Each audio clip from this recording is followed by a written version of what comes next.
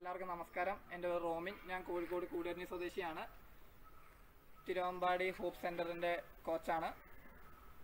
ഞാൻ ഇവിടെ Kinder സ്പോർട്സിന്റെ second വീക്കിലെ വർക്കൗട്ട്സിനെ കുറിച്ച് പറയാനാണ് വീഡിയോ ഇടുന്നത്.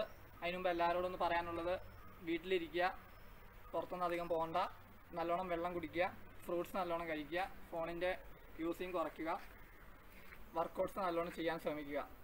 അപ്പോൾ നിങ്ങളുടെ പാരൻസിനെ കൂടി ഇതിലേക്ക് ഇൻക്ലൂഡ് ചെയ്യുക.